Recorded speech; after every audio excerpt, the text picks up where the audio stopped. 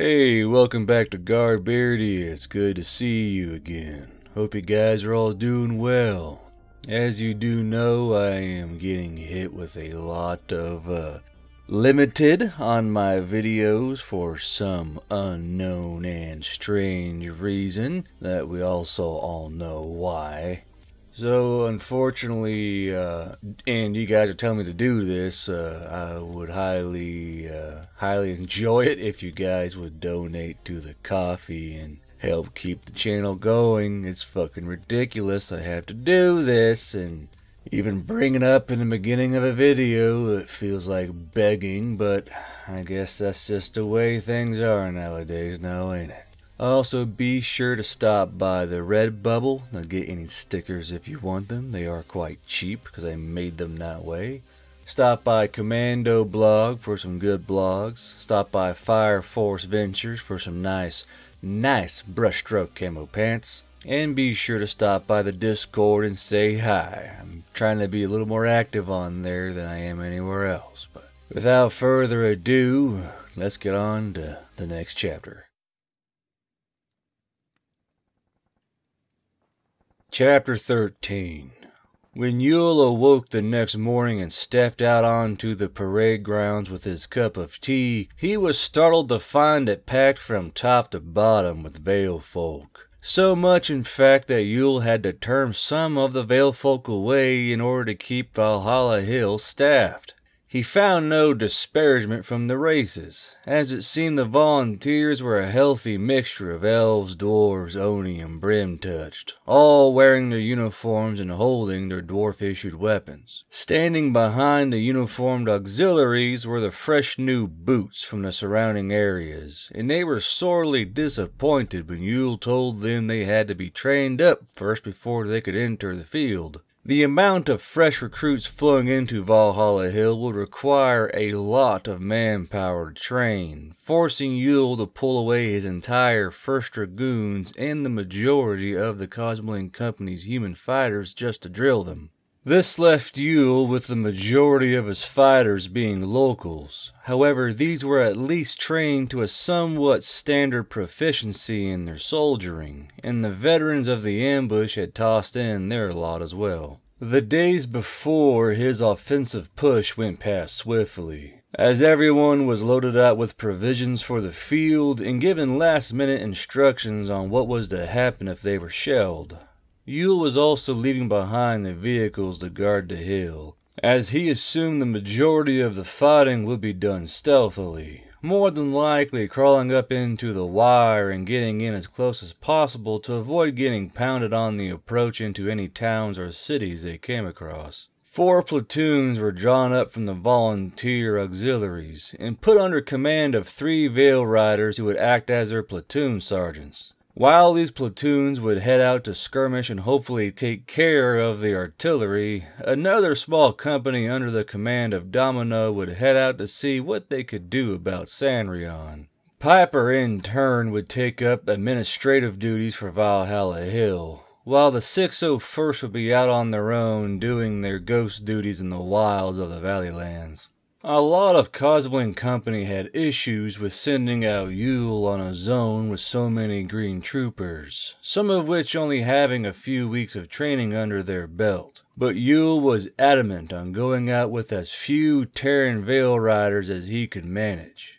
Yule knew full well that the largest wealth of tactical and modern warfare knowledge lay in the humans that walked the Veil with him on that first day, and that he needed to keep as many alive as possible training the Veil folk. He felt uneasy taking as many as he was out on this particular offensive, and had a mind to make them all stay while heading off on his own with his troopers. The Veil Riders who had given command of the platoons outright told him to go pound sand when he brought it up, and he walked back the idea rather quickly. A small squad of Himalayas also volunteered to accompany Yule, which he took in stride and made them the main scouting element of his platoons. Savras tried to weasel her way into Yule's Himalayan volunteers, but he pinned her with the job of watching over Valhalla Hill, and the two got into multiple shouting matches through the days to him leaving. Yethus demanded to go with Yule out into the field as well, but he told her he needed her to stay. He told her that she was needed here, to train more medical personnel with Gruesome, and to make sure nothing hokey happened with the locals while he was gone. She fought viciously against him until he put both hands on her shoulders and leaned in towards her face one night during dinner. There's only a few people who I trust to watch over things here, and one of them is you. If you don't think you're able to manage things here for me while I'm gone, I can find someone else if you so wish. After that, there was no more pushback to be found from Yethus. She did, however, leave him multiple bottles of her blood, just in case he needed to refuel his translation amulet, and left little encouraging notes on the labels so Yule would have a morale boost out in the field. Yule didn't think they needed quite so many hearts on them, but the blood indeed would come in handy. His Tunka still needed a lot of work, and his Midwestern accent really did butcher the pronunciations. On the final day, Yule and a small company set out from Valhalla Hill and dived hard to the west, working off the reports from the Himalayans that they saw some weird looking things moving about a small city called Imalone. The first week of travel went by lively, and Yule quickly came to enjoy the bickering that happened around him on the road. His second in command for this offensive was Mullen, a rather blase man from South Dakota that was never easily excited. He was shorter than Yule, with mousy brown hair, brown eyes, and a sprinkling of brown freckles that ran down his nose. Those in the company called him Mousin, which he took with derisive eye rolls. Between Mullen and Yule, it was more like they were wrangling cats every day, having to make sure the platoons kept their spacing on the road and to make sure the dwarves and Oni didn't hurt themselves in their nightly arm wrestling contests. The Himalayans proved to be not what Yule had hoped, preferring to ride on the shoulders of the taller Veil folk and lope alongside the formations as they walked. When Yule would task them to go and actually do their job of scouting, they would return back after a few minutes of flight to report they saw nothing, and return to playing around with the platoons or running off with small pieces of equipment. It wasn't until they came across their first enemy picket that everyone understood this was not a morning hike into the woods. Most shocking to Yule was how many small patrols they did meet on their way to Imalone. Skirmishes were almost a daily thing in some cases, usually starting with Yule and his platoons coming into contact with the Chosen Children patrol and pushing them back and away, or laying in wait for a squad that the Himalayans had spotted during their rounds. Casualties were light during their movements, and those who had fallen in battle were given a small burial in the grave marked with large stones. In a weird ritual, a lot of the fallen would have their patches ripped off and handed to Yule, which he kept in his breast pocket. After two weeks, that pocket was getting slowly fuller and fuller, and weighing even more on his mind. Things weren't always so dreary, though, as in their skirmishes they had come across a small vehicle or two, getting them access to a small fleet of battered Humvees and Gators. These small graces allowed them to carry even more gear with them, and kept the Cosmoline train rolling until they were only a few days away from the city. The stiffest resistance was met here as Yule's auxiliary platoons now came face to face with a whole other company in a small farming village called Masirium, which Yule assumed was like a small suburb of Imalone. The skirmishes before they got to Masirium had primed the platoons to be on alert for anything, as an ambush by the chosen children had done a fair bit of damage to one platoon in particular, having roughly shaken the green from the minds of a lot of auxiliaries. Yule knew what was happening a few heartbeats after the buildings of the small village suddenly lit up with automatic rifle fire, and a small field of elven wheat to their right began popping with the staccato rhythm of machine guns. His platoons had been spread out and moving across open ground, with their only cover being tall grass and a few scattered bushes when the gunfire erupted, as it was the only path to the buildings ahead and the chosen children inside the village had waited until they were fully inside their firing lanes. Yule spun his head left and right, standing straight up while the rest of his men and women dove into the tall grass for cover. Bullets snapped and hissed by his head as he looked around, and he saw no obvious alleys of escape from where they were pinned, leaving him with the same choices as that first ambush long ago for the armored vehicles. Push through, stand return fire, or flee. Yule didn't feel much like fleeing, as they would probably just be cut down as they all stood to run or tried to crawl away in the grass. Crawling would keep the gunfire at bay, but then they could just lob grenades at them and shell them into oblivion. Trying to stay here and return fire had the same issues, as they would be in the open and ripe for the artillery to pour down on them. He bet that he would have to get in close and grab their belt buckles so they wouldn't be able to rip his platoons apart with artillery fire, and he spun around to face his troopers laying in the grass. Mullen, Yule barked, and he knelt down near a small cluster of brush, pulling out smoke grenades that were hung loosely on his chest. Mullen got up and barreled towards Yule at a low run, tracer rounds cracking around them both as they knelt down in a small huddle. Around them, the auxiliaries were returning fire as best as they could, popping off shots whenever they thought they could tell a flash in the windows of a building or through the stalks of wheat. A brim-touched MG3 team, having looted the machine gun after an ambush, was spraying rounds wildly back at the village, splattering wood and glass from windows or tracing lines of holes down walls. The brim touch holding the MG3 on her shoulder like Yule had taught her was grinning madly as they both traced a barrel back and forth. What's up, Yule? Mullen asked calmly, and he pushed the bill of his patrol cap up. A bullet clipped the brim of his cap and sent it spinning off his head to land on the ground beside him. Mullen made an annoyed sound and reached down to grab his now holed head cover and plopped it back onto his head. To the rear, the vehicles were doing their best to open up with their gunners, the drivers trying to surge forward and put pressure on the village. After just a few seconds, the passengers began diving out of hurriedly flung open doors into cover, machine gun rounds pelting and pinging off the lightly armored Humvees, shattering glass and sending sparks of metal spinning into the air. We gotta smoke our way out of here and push into that village. Yule gestured with a bladed hand at the buildings ahead of him as a pair of bullets ripped through his rucksack. We'll get in close and take them at the boot tips so they can't shell us. Tell the lads to throw smoke at that field and follow my own smoke in. Mullen nodded and scurried off back towards the rest of the troops down the field, who were doing their best to suppress whatever the hell was shooting at them and pinning them down. Yule pulled out his first smoke grenade and pulled the pin, tossing it straight down at his feet so he could stand up straight. Purple smoke poured out around his feet and he grimaced. Fucking really? Now fully standing under the cover of the smoke, he pulled the pin on another grenade and threw it ten yards away, waiting for its smoke to furl up before running over to that spot and pulling another grenade's pin. He repeated this for five grenades and created a lane of advance through the open field towards the buildings under the cover of white, purple, amber, red, and even orange smoke.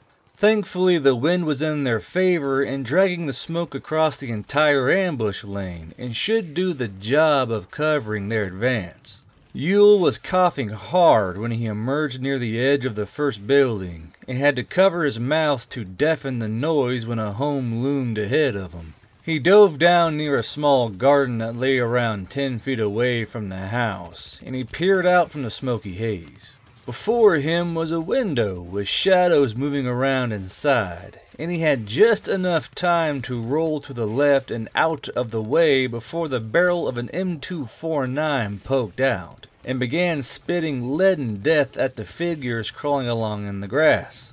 Yule fussed with his battle vest while the gunfire cracked above him, filling his ears with even more tinnitus than he really needed until he found the fragmentation grenade that was tucked into its corresponding pocket. He pulled the pin on the little ball of death and chucked it into the room lazily, the spoon clinging off the sill and tumbling into the grass. Kobe, Yule muttered and watched the window. With their attention on firing through the smoke, the elves inside never really saw the grenade thunk down onto the ground beside them, and had only a few more seconds of life to enjoy before it detonated, throwing its payload around the room. Shrapnel churned through flesh, and a dust cloud swallowed the room, sending the small cluster of elves splattering all over the walls and floor. The small cloud puffed out of the window wetly, mingling with the aerosol blood and giving it a slightly red tint. To be fair, the ten elves who had packed themselves into the small living space of the house never assumed that some crazy bastard would just run at them through smoke and lob a death ball into their midst. But that lack of planning was now why they were missed themselves. With the machine guns silenced, the platoons of the auxiliary corps funneled into the village through the smoke and poured into the houses and roadways, engaging the chosen children in close quarter battle or extremely close range gunfights. Yule stood up and trailed behind his rushing troopers, coughing and hacking violently at the smoke that was in his lungs.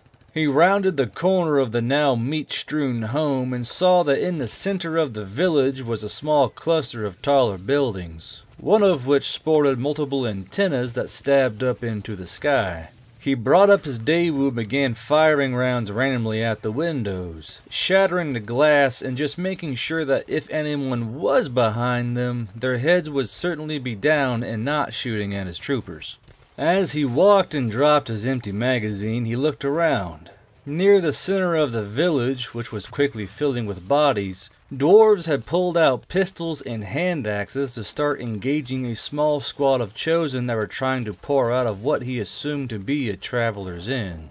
The dwarves allowed them to exit the doorway before falling upon them their axes hewing at the legs and joints of their taller foes. And when the elves fell to their crippled knees, the dwarves would then point their pistols at their heads and administer a coup de grace, spattering their brain matter over the stones of the road.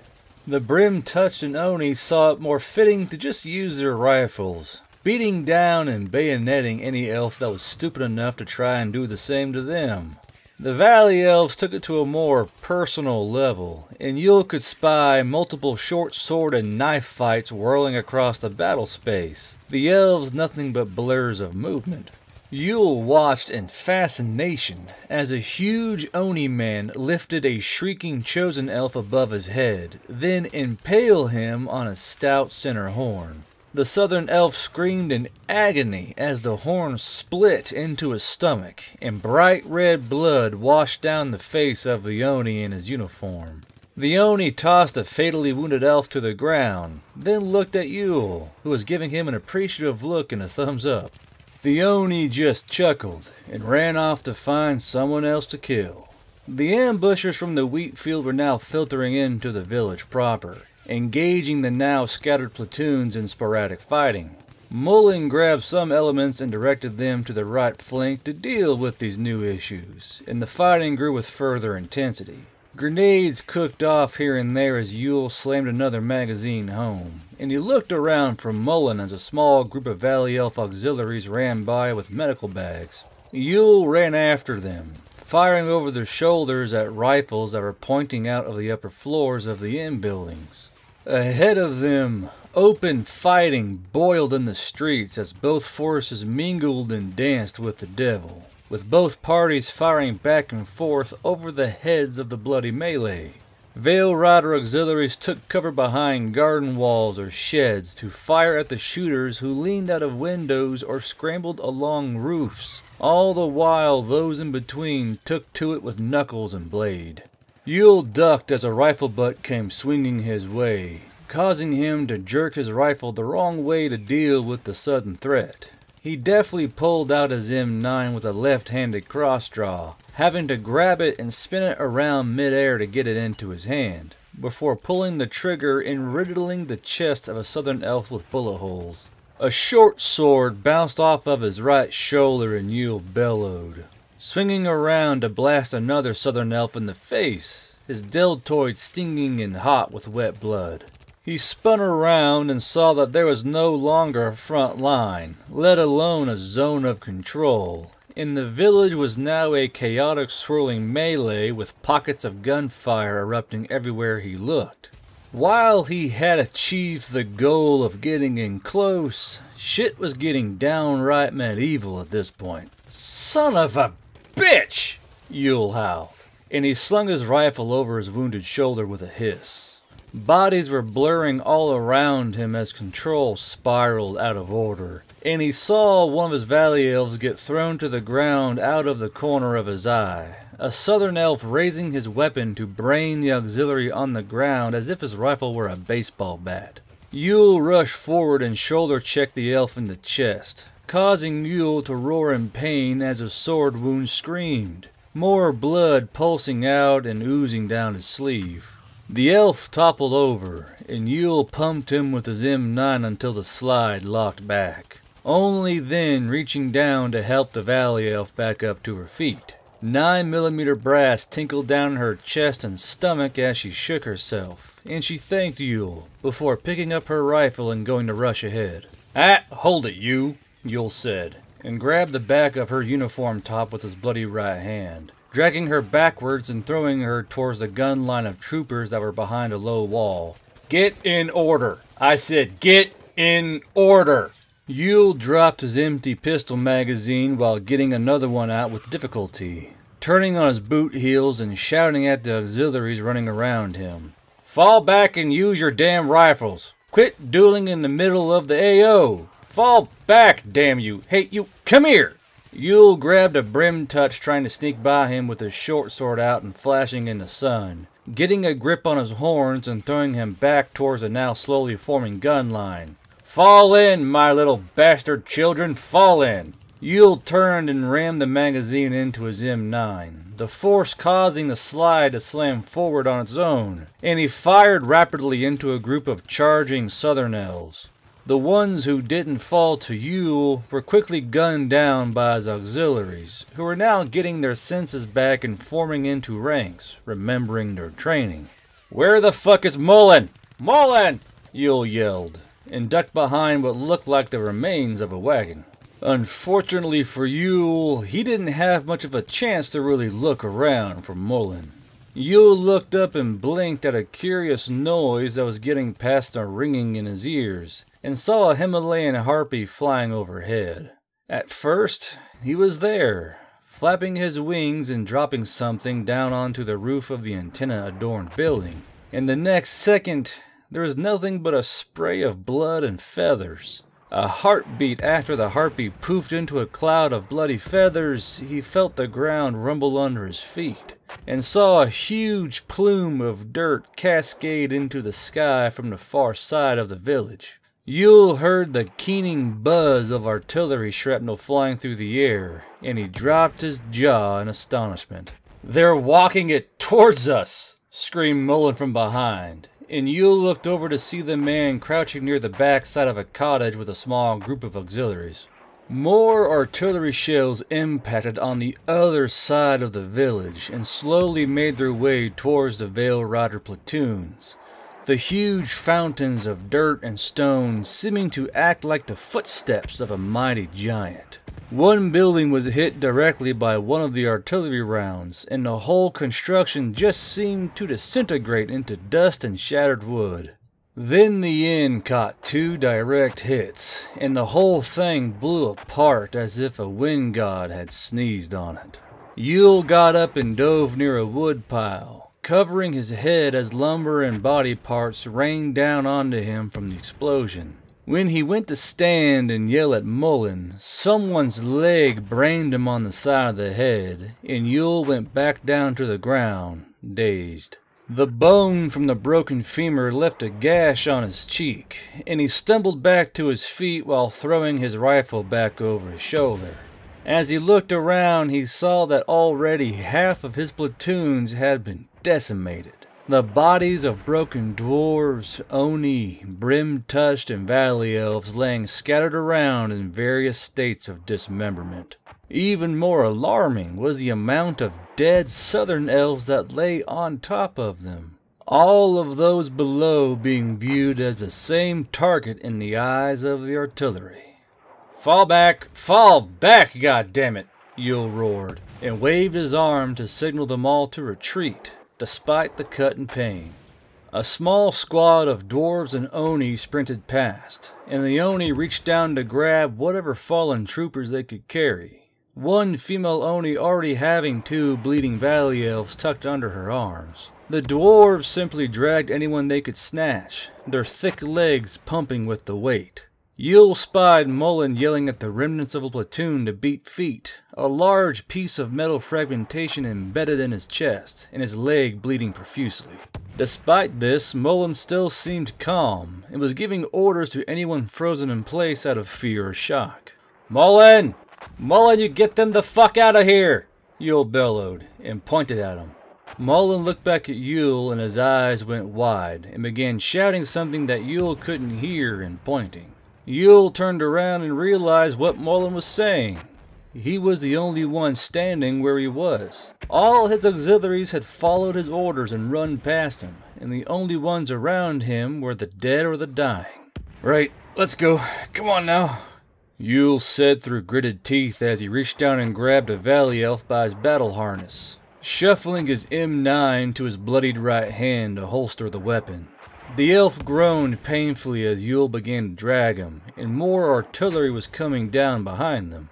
Yule heard something zipping awkwardly through the air towards him, and turned in time to see the blur of the shrapnel that punched through the stomach of the elf he was dragging and embed harshly into his left calf muscle. Yule screamed in agony as he went down to his left knee, and the elf gurgled hoarsely before falling over onto his side, blood foaming out of his mouth and nostrils. Yule stumbled once again to his feet, and began to hobble towards Mullen and a small group of his troopers that were running towards him. That's when Yule felt it, the crawl of a spine, the innate sense of knowing when death himself was looking down at you. Time slowed to an aching crawl as Yule knit his brows together and turned his head to look behind him. Dirt and chunks of earth were cascading down from the sky. Buildings and homes were exploding out, being torn apart by the concussion of the artillery detonating within. Most alarming was that the explosion seemed to be racing towards him faster than his men would ever get to him and Yule pressed his lips together in aggravation. He turned back towards Mullen and said one final phrase before the cottage next to him erupted into flames. Get them home, Mullen.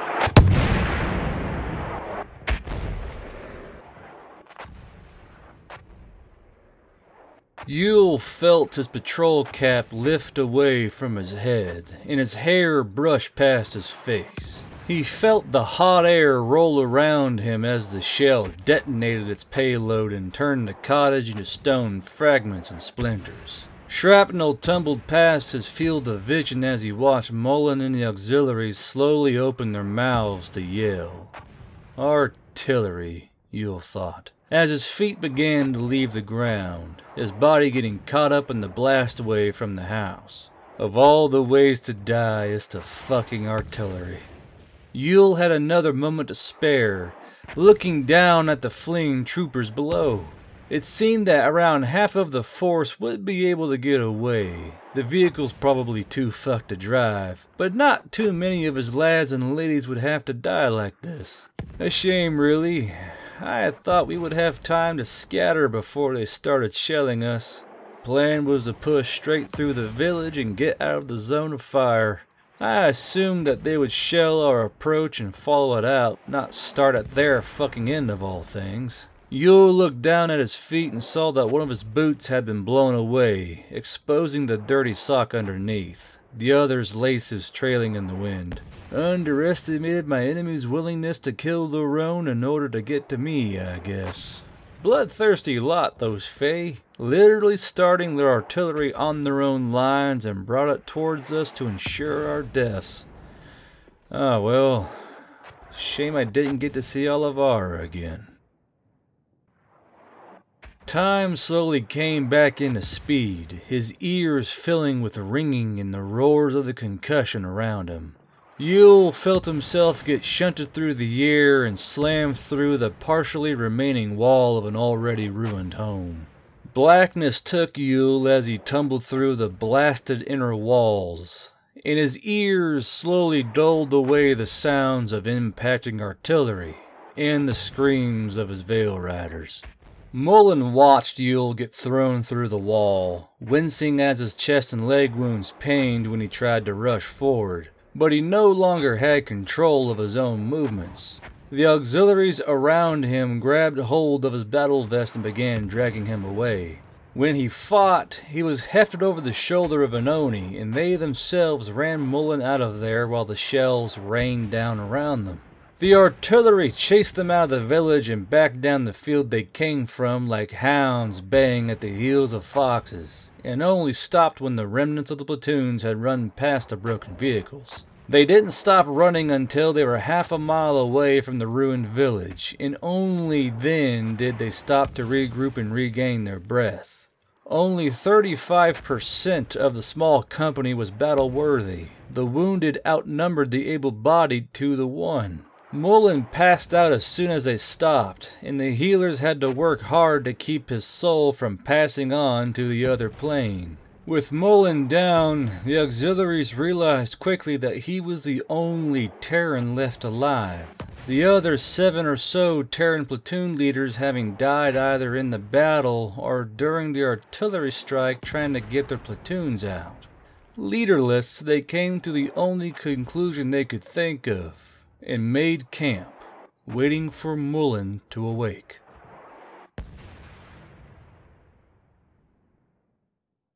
Yule felt numb, as if he was wrapped in a giant wool blanket of blackness. If this was what dying was like, he certainly had worse, and at least now he couldn't feel any more pain. It was as if he was suspended in a giant dish of black butter but he didn't open his eyes, just keeping them closed and letting the sensation wash over him.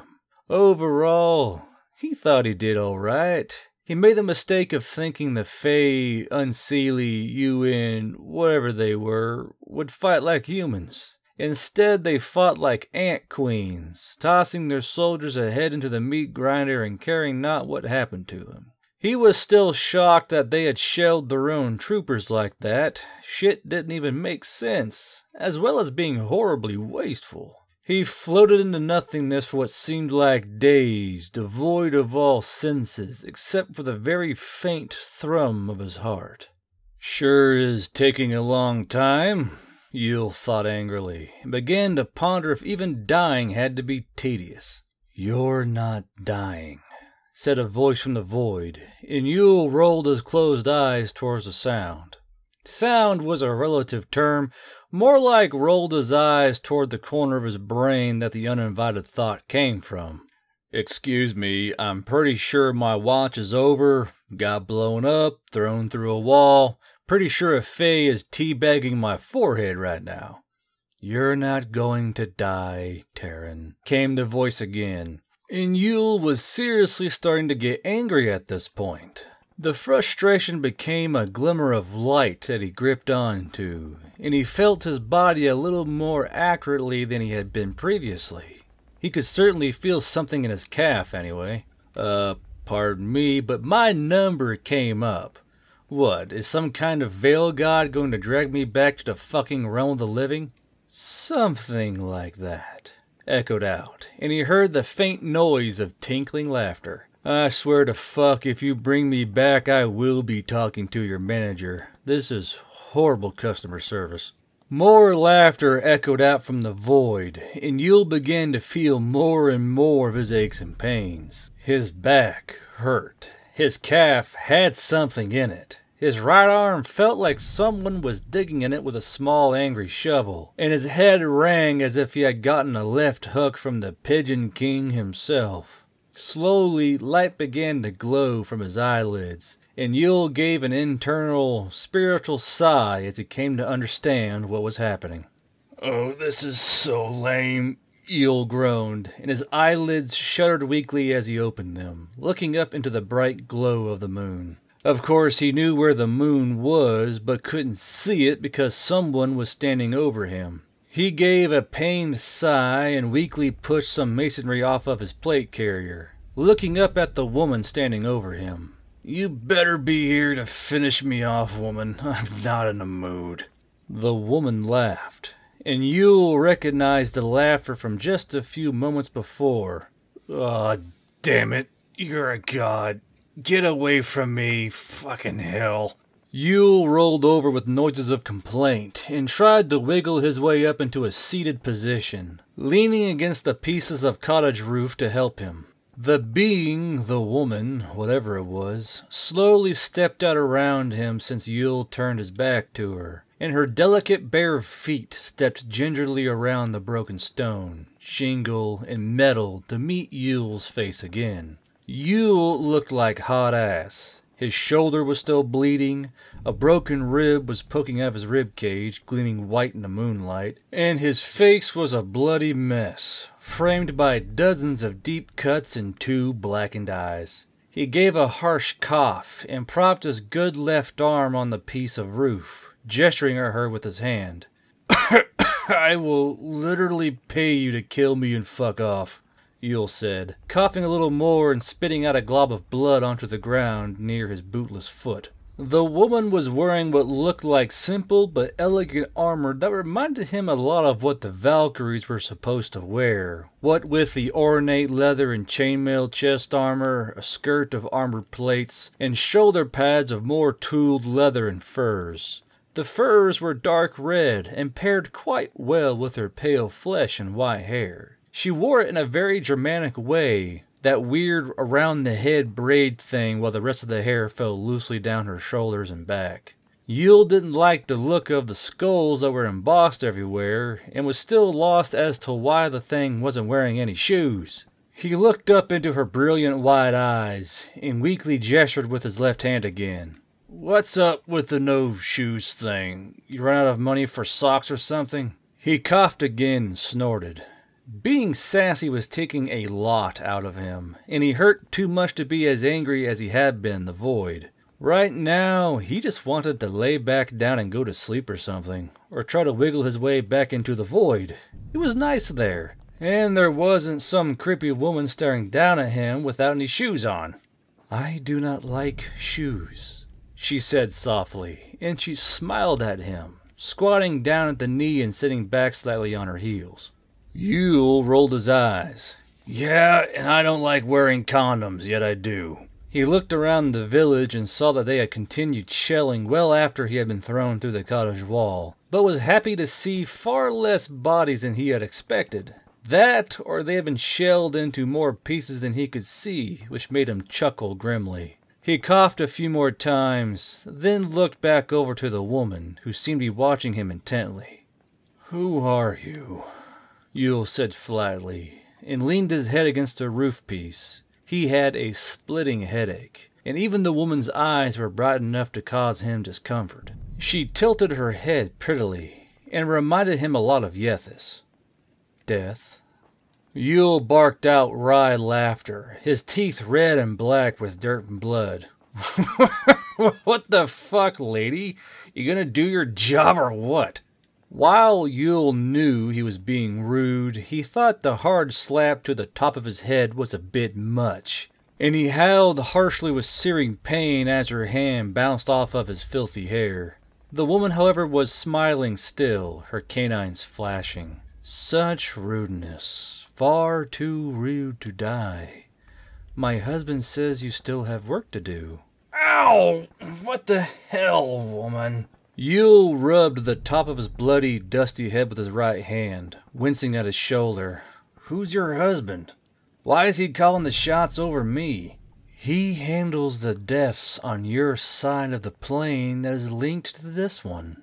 Many gods of death. But we handle this as a couple for these two places, linked by the veil, anchored by blood and fate. She pulled over a large stone with little effort and sat down on it, folding her legs neatly over one another. Yule set up a little more inside, reaching back onto his webbing to try and find a canteen. He found one, but it had been shot during the ambush and now lay empty. He tossed it over his shoulder and sighed again, more angrily, as it hollowly tinked and tanged off of broken stone. He hung his head while looking up at her slightly. Your husband is the Grim? She smiled sweetly at the Terran nickname.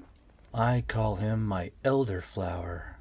Charming, Yule muttered, and wiggled his socked foot. So what's the deal, Toots? You got some kind of magical errand you need me to run or something? Some kind of quest I was born to do or whatever they say in the stories? The death god laughed again and flicked Yule hard on the forehead. Yule howled out a "What the fuck?" as she continued to laugh.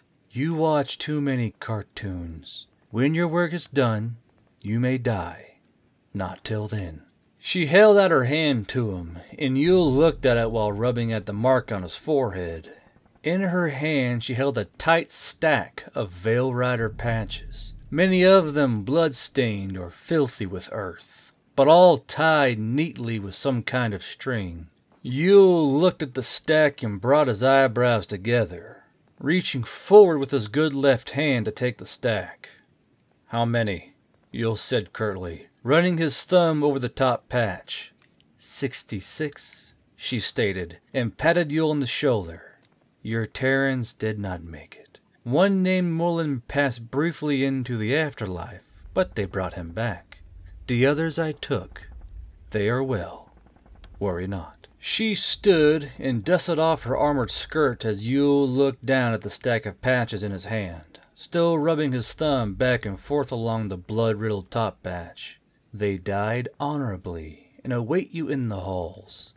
They died good deaths. Be proud, bearded Terran. Yule looked up sharply and locked eyes with the god. Unbeknownst to him, he had done what thousands of Veil folk feared to do, and to lock eyes with the death god more than once was something only known to the most foolhardy or insane. Will you take care of my troopers? Tell them I'm sorry. The death god beamed down at him, smiling all the way to her eyes. Best of care, bearded Terran, she said one last time, before unfurling two huge white wings from her back. Yule hadn't seen any signs of her even having wings, but the sudden burst of movement made him jump, and her takeoff threw dust into the air as she ascended. Yule ducked his head as she lifted away and coughed a few times, hearing her wings thud the air in their movements, before he was left in the aching silence. Yule blinked a few times before rubbing at his face, his flesh rasping harshly from the caked dirt and blood. This fucking place, Yule growled, and he slowly got to his feet, leaning heavily on his rifle like a cane. His Daewoo was shattered and broken, far beyond repair, and he mourned for it quietly as he looked around. He saw a few yards away what looked like the remains of a Healer Corps medic and their bag, and hobbled towards it. The buttstock of his rifle gave way after a few hobbled steps, and Yule yowled as he went down hard onto the shattered road. He wheezed and began to crawl towards the bag, he felt something poking into his lung from his rib cage, and quite frankly was fed up with the bullshit at this point. Can't get a fucking break. The short journey felt like an eternity, having to use his good legs and kind of performing an awkward slug crawl towards the bag, but he got the job done. The poor elf that was in charge of the bag had caught a lot of artillery shrapnel to his back and spine, and Yule patted the dead elf's shoulder sadly. Sorry, buddy. The bag had caught a lot of the shrapnel too, shattering the majority of the healing potions and vials that were inside. Thankfully, or unthankfully, the wriggling, living bandit seemed to have soaked up a lot of the liquid, and was now bright red with the spilled potions. Yule grimaced and paused for a few seconds in contemplation, then grabbed harshly at the living bandage, spashing it to his lips. Amusingly, the bandage seemed to have a mind to fight him, and Yule had to bite onto it to make it behave and bleed, sucking hungrily at the moisture and potion that was inside of the bandage. It tasted like death, and Yule was pretty sure the elf's blood had gotten onto the bandage as well. but he could feel the potion working slightly as his ribs slowly pulled out of his lung. As he drank the bandage dry, he reached in for the other one that was trying to crawl away while pulling the shrapnel piece from his calf. He bit down onto the now dead bandage and yelled muffledly into it as the metal came out wetly from his calf. Then he yanked the other bandage over to his mouth, biting down onto it and sucking at it greedily. After this bandage was sucked dry, he looked for other medical bags around the area, now being able to hobble his way around on his feet. He also found his missing boot and slipped it over his bare sock.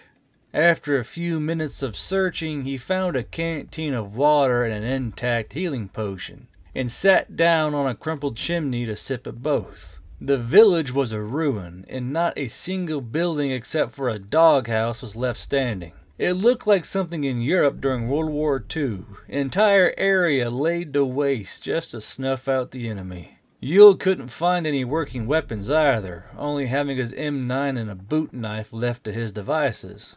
When he had drained the canteen and the health potion, he stretched his back and popped whatever was left of his spine into place. His shoulder was slowly knitting back together, but he thought angrily that there was no hope for the large cut on his face, and would probably scar up horribly. He looked up at the moon and stood, following its rise and seeing which way south was. Someone is going to eat my boot knife by the end of this, he murmured, and began to make his way through the rubble and remains of his platoons.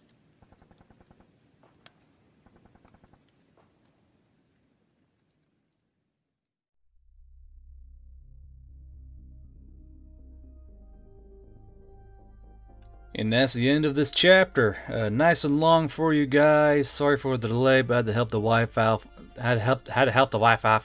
Had to help the wife out in her business, so I had to take a few days off to do that.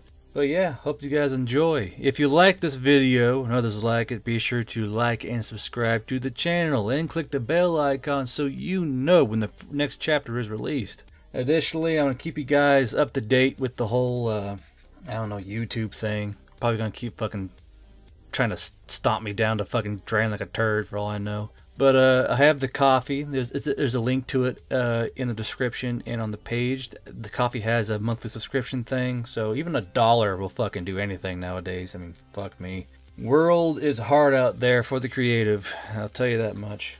But I appreciate all of you who watched the video, especially those of you who actually give to the fucking series is just super helpful. And to all of you who bought patches, uh, that, that was a huge, a huge thing for me. It was a fantastic having all your orders. They're all stacked up next to me. Should be going out today and into your hands hopefully here soon. Except for those who are in Canada. uh, yours may take a little while longer because Canada. But yeah, uh, thanks for buying patches. You know, and there's, there's at least 50 left. But, uh, yeah, until I see you next time on this side of the veil, this has been Guardbro.